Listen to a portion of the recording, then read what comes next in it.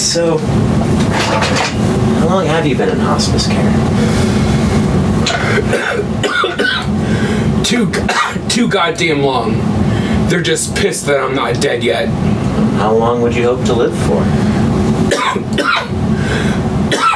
For for as long as I can.